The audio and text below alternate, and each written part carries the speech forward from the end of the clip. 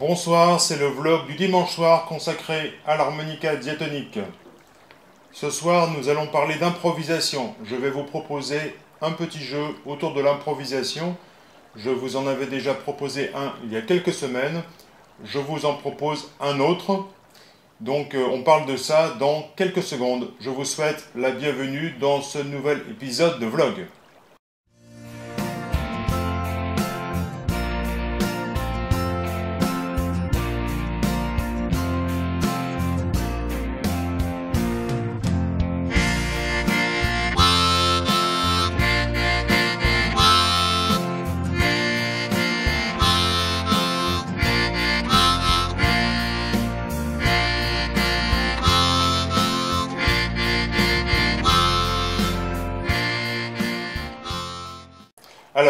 Juste avant de vous parler de ce petit jeu sur l'improvisation, si ce n'est déjà fait, cliquez sur le bouton rouge en bas à gauche, le bouton s'abonner, pour rejoindre des centaines et des centaines de musiciens amateurs euh, passionnés par l'harmonica, le piano et la chanson française.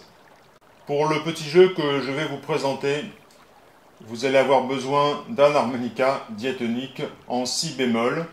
J'ai pris un modèle bête de course en si bémol. évidemment, vous pouvez euh, faire le, même exercice, euh, euh, le même jeu avec un harmonica dans une autre tonalité, mais pour ce soir, je prends un harmonica en si bémol. Ok?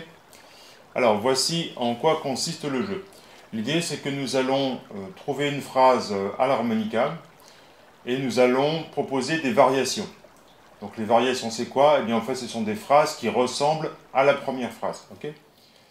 Et alors comment on trouve des variations? Eh bien grâce à une technique euh, que je vous dévoile ici, que j'appelle variation sur une seule note. En fait, on va prendre une phrase et on va changer une seule note. Alors la toute première chose, c'est évidemment comment trouver cette phrase? Eh bien, vous pouvez la trouver de multiples façons, et je vous propose de la trouver au dé. Nous allons utiliser ce dé. C'est un dé à 8 faces que j'ai acheté dans une boutique de jeux euh, ce genre de dé à 8 faces, on l'utilise beaucoup dans les jeux de rôle notamment. Voilà.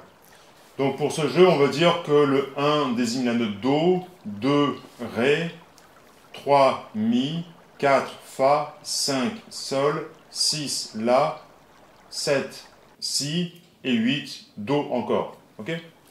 Alors, pour euh, tirer au dé, euh, moi j'aime bien utiliser des tours à dé. Comme c'est une table en bois, euh, des fois, ça, ça, ricoche un peu et puis euh, le dé finit par terre. Donc là, au moins, on est sûr que bah, il va finir, euh, il va pas finir par terre, quoi. Ok? Alors, donc je prends le dé à 8 faces. Donc première note. Ok, c'est un 1. Ok, donc 1, on a dit que c'était Do. Deuxième note. C'est un 2. Donc 2, c'est Ré. Donc Do, Ré. Troisième note. Alors, c'est un 3. Donc 3, c'est Mi. Donc ça fait Do, Ré, Mi. Alors, encore le 1. Donc Do, Ré, Mi, Do. Allez, encore une note. Le 5. 5, c'est Sol. Donc ça nous donne Do, Ré, Mi, Do, Sol. Ok, nous voici donc avec Do, Ré, Mi, Do, Sol. Très bien. Alors on va jouer cette phrase. Donc par exemple, on peut la jouer dans le médium. Do, Ré, Mi, Do, Sol.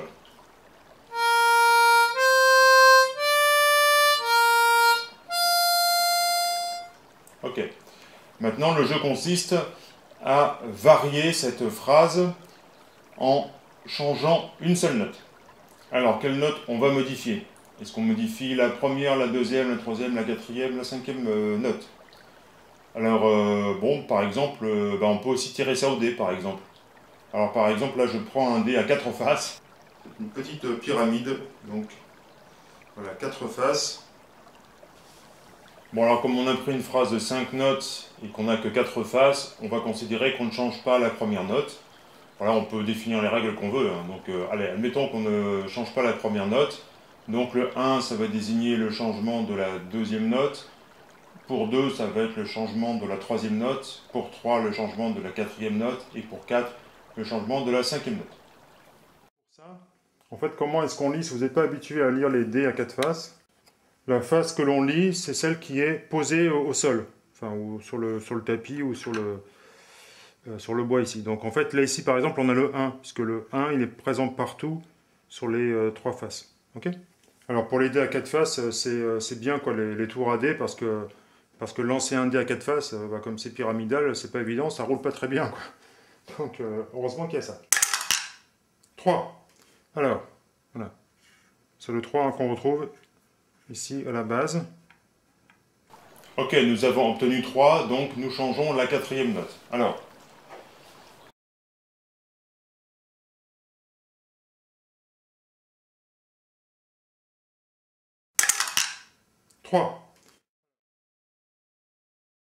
Ok, nous avons obtenu 3, donc nous faisons la phrase initiale plus 3 variations. Ok, phrase initiale plus 3 variations, donc ça nous fait 4 phrases en tout. Donc on commence par la phrase initiale, donc je rappelle c'est Do, Ré, Mi, Do, Sol.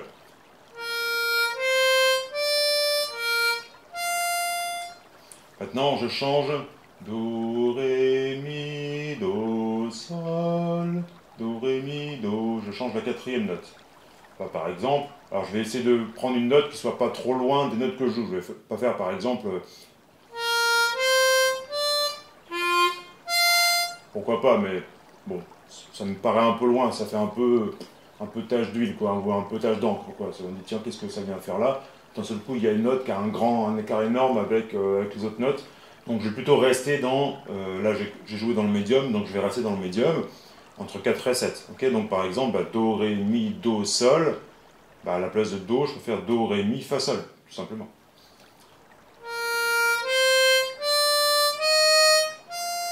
Donc je refais les deux, la phrase initiale plus la première variation.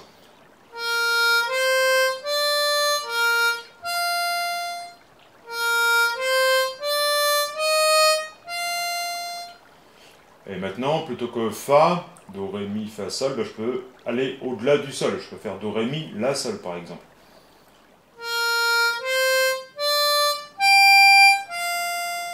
Ok, donc nous avons la phrase initiale et deux variations.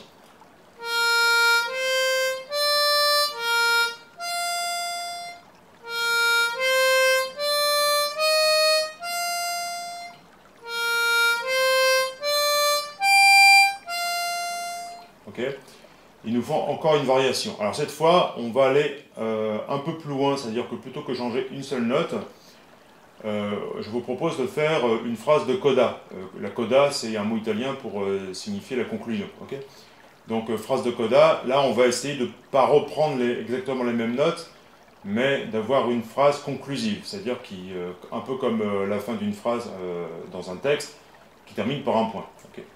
En fait, là, on tourne autour de quoi? Bah, Do, Ré, Mi, Do, Sol, Do, Ré, Mi, Fa, Sol, on tourne autour de Do apparemment. Donc on va essayer de trouver une phrase qui termine par Do et qui utilise en gros les notes qu'on vient de jouer. Hein.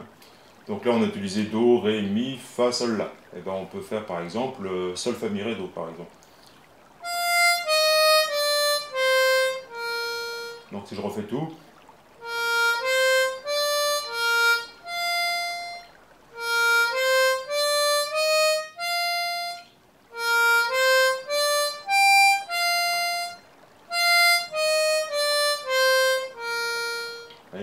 ça fait une petite, euh, une espèce de petit morceau, quoi. Ok Donc j'ai pris cette phrase de coda, on aurait pu en trouver une autre, par exemple, euh, euh, comme on tourne autour de do, do, ré, mi, ré, do, par exemple.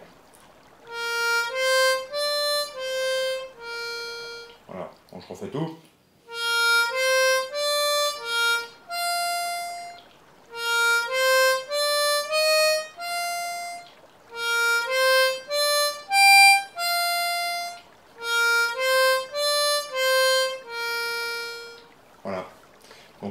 Amuser avec euh, ce petit jeu en changeant à chaque fois euh, une seule note, sauf pour la coda, où vous changez tout, mais euh, vous essayez de trouver une phrase qui conclut. donc là, si vous tournez autour de Do, bah, évidemment, vous allez finir sur Do. Ok? Voilà, amusez-vous bien.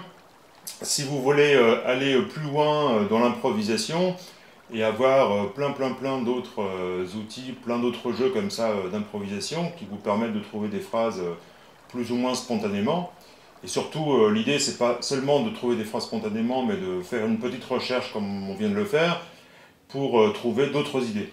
Donc si ça vous intéresse, il y a une formation sur l'improvisation, en fait, il y a trois formations sur l'improvisation selon le niveau que vous avez, mais c'est la même, la même approche, c'est-à-dire qu'on se retrouve, vous et moi, en atelier collectif mensuel, et pendant le cours, je vous apprends justement ces, petites, ces petits outils, ces petits jeux musicaux qu'on fait ensemble. Et après, une fois que vous avez compris le principe, vous pouvez replacer ça dans vos morceaux favoris. Donc euh, il y a trois formations. Euh, la première, c'est la Ligue des skippers, qui est pour les grands débutants. Donc si vous êtes euh, grand débutant, eh bien vous pouvez commencer à improviser. C'est-à-dire grand débutant, c'est quoi? Bah, C'est que vous savez jouer les notes soufflées et aspirer partout sur, sur l'harmonica. Mais vous ne savez pas faire grand-chose de plus. Peut-être que vous savez déjà jouer des petits morceaux et vous aimeriez improviser un petit peu ou trouver des variations de, ces morceaux. Donc ça, c'est possible avec la Ligue des skippers. Donc vous allez trouver un i comme invitation. Je vous invite euh, donc à cliquer euh, sur le lien et à lire un article sur euh, justement cette pratique, cette approche de l'improvisation. Et puis si ça vous intéresse, donc rejoignez la Ligue des, skippers. Ok? La Ligue des skippers, voilà. Pourquoi skipper bah Parce qu'en fait, dans, ma pédagogie, je fais beaucoup de liens avec la navigation de plaisance. Donc il y a beaucoup de, formations chez moi qui euh, sont autour de la navigation de plaisance. Voilà, donc euh, d'où euh, les skippers. Voilà, je vous dis à très bientôt. On se retrouve mardi prochain pour l'Agora. L'Agora, vous savez, c'est un espace public où on se retrouve à plusieurs. On est assez nombreux généralement, où je réponds à toutes vos questions en direct et où je vous donne des nouvelles de l'école. Et sinon, de toute façon, on se retrouve bien évidemment dimanche prochain pour un nouvel épisode de vlog. Bonne semaine à vous, bonne musique